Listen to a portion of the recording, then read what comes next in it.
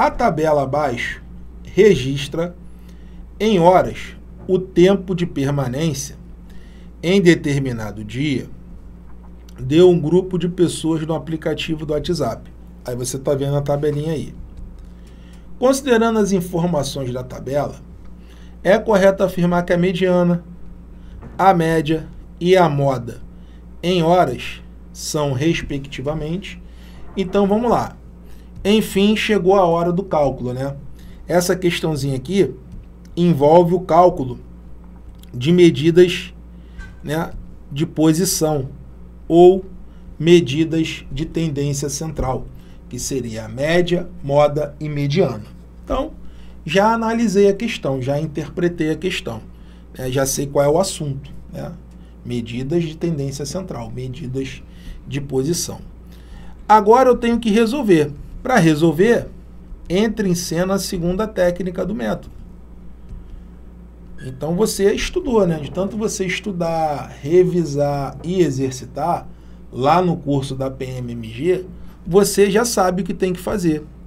Para resolver esse tipo de questão, você tem que memorizar as fórmulas. Cara, estatística se resume a fórmulas. Infelizmente, você tem que memorizar as fórmulas. Vou começar aqui o cálculo com a média. Qual é a fórmula para calcular a média? Ó, somatório de xi fi sobre o somatório de fi, ou seja, sobre o total. Então, primeira coisa para você calcular a média é você criar uma coluna xi fi. Então, primeira coisa, você vai multiplicar essas duas colunas. Aí você vai fazer ali o produtinho. 8 vezes 10 vai dar 80. 9 vezes 7 vai dar 63. 11 vezes 12 vai dar 132. 14 vezes 14 vai dar 196. 15 vezes 20 vai dar 300. E 20 vezes 12 vai dar 240. Né? Então, esse seria o produto. Né? Agora, somando, né? porque eu preciso do somatório, somando aqui essa galera, isso daí vai dar mil e onze. Aí eu vou fazer o cálculo. Como eu já tenho aqui o somatório, vai ser 1011 dividido pelo total, que é 75. 1011 dividido pela soma, né, pelo total, né, que é 75. 1011 dividido por 75, isso daí vai dar 13.48. Legal? Agora vamos lá. A moda. Vamos encontrar a moda. A moda é o elemento mais frequente, né? é o elemento mais frequente. Aí eu tenho que olhar aqui a maior frequência. Qual é a maior frequência aqui? A maior frequência é o 20. E qual é o termo que está relacionado ao 20? É o 15. Então significa que o 15, né, se eu colocasse né, uma lista de dados, né, se eu formasse ali ao invés de uma tabela, se eu criasse uma lista de dados, o 15 ele iria aparecer né, 20 vezes. Ele é o que aparece mais vezes, é o elemento mais frequente. Então ele é a minha moda. Só que essa questão, ela já poderia acabar aqui, ó. Porque como ele quer respectivamente, e a moda ela tá aqui, ó, no último, a única opção que tem 15 é a letra D. Então na prova, cara, um abraço. Você não iria nem perder tempo. Com certeza é a letra D. De cara você ia olhar ali que a moda é 15, acabou. Corre para o abraço. Mas aqui, né, eu tô te ensinando. Agora vamos lá, a média. Né, já foi a moda, agora a mediana. Como é que eu tenho, como é que eu calculo, né, a mediana? Vamos lá. A mediana a gente já tem que trocar uma ideia. Por quê? A mediana por definição, é uma medida de posição, é uma medida de tendência central que ela separa os 50% maiores dos 50% menores. Então ela está exatamente no centro da distribuição. E ela tem essa função de separar os 50% maiores dos 50% menores. Então, para encontrar a mediana, primeira coisa que eu tenho que fazer é encontrar a posição. Como é uma distribuição de ordem ímpar, porque temos aqui 75 elementos, para encontrar a posição, eu tenho que usar essa formulazinha aqui, ó, n mais 1 sobre 2. Então, jogando ali n mais 1 sobre 2, o n vale 75. 75 mais 1 vai dar 76. 76 dividido por 2 vai dar 38.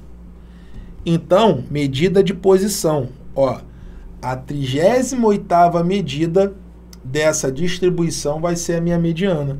Aí eu vou somando aqui, ó. Eu vou no hang-hang, ó. ó. 10 e 8. O que, que significa isso aqui? Estou analisando aqui a primeira linha. Ó.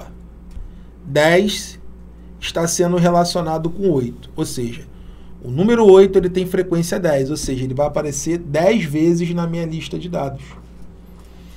Então, 10 usuários ficam 8 horas no WhatsApp. Então, essa primeira linha, ela vai do primeiro ao décimo usuário. Então, a próxima linha já vai começar onde? No décimo segundo. Quer dizer, do décimo primeiro, perdão. Aí vai do décimo primeiro aonde? Aí você vai somar 10 mais 7 vai dar 17. Então, vai do décimo primeiro ao décimo sétimo.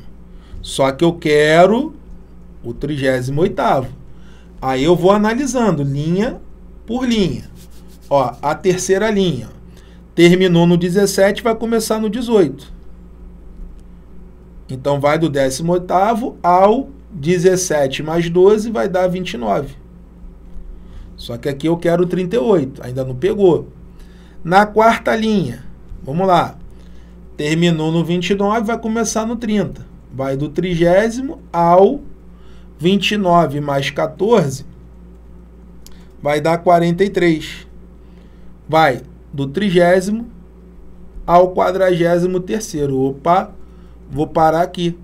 Porque eu sei que o trigésimo oitavo termo, ele está nessa linha aqui. Então, ele só pode ser o 14. Legal? Então, a mediana é 14. Então é o 14 que vai separar os 50% maiores dos 50% menores. Como ele quer respectivamente, né, por mais que já tenha ali o resultado, vamos lá tirar uma onda. Mediana 14, média 13,48 e a moda 15. Beleza? Gabarito letra D Vem cá, você quer aprender raciocínio lógico matemático da forma correta para passar no concurso da PMMG? Se sua resposta for sim, matricule-se agora mesmo no nosso curso específico da PMMG. Olha o que você vai ter acesso ao comprar o nosso curso.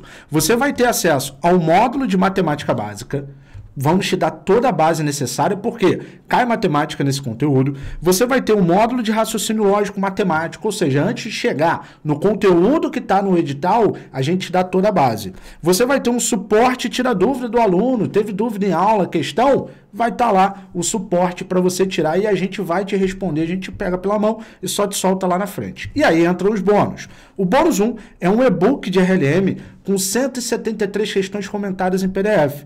E o bônus 2, galera, é o cronograma do zero ao gabarito de raciocínio lógico matemático na PMMG em apenas oito semanas. Isso mesmo. Você vai ter um cronograma, uma rota de estudos para você seguir. Cada dia o que tem que fazer. E dentro do curso eu te ensino como usar essa rota e é um GPS para você. E em oito semanas você está pronto para sair do zero e gabaritar. E além disso, o bônus 3, nós chamamos mais seis, meses de, mais seis meses de acesso. Ou seja, você vai ter um ano de acesso pelo preço de seis meses. Mas, Renato, qual é o meu investimento? Aí é continha, né? Soma todo mundo. Se você somar todos esses valores aqui de tudo que tem no nosso curso, o seu investimento seria de R$ 947,90, mais de 900 reais. Tá? O primeiro salário você já recupera. O primeiro salário já recupera e lembra, é para a vida inteira. Mas nós vamos te dar um descontão de R$ 947,90 por apenas, se você comprar hoje, agora, apenas 12 de 30,72 ou 297 à vista. 12 vezes você pode fazer no cartão de crédito, pode parcelar em até 12 vezes, e 297 à vista no cartão de crédito e no boleto. Então não perde tempo, cara. O link está aqui na descrição. Clica agora, matricule-se, eu te espero lá nas aulas do curso para a gente sair do zero ao gabarito RLM na PMMG em apenas 8 semanas. Um grande beijo, até lá. Valeu!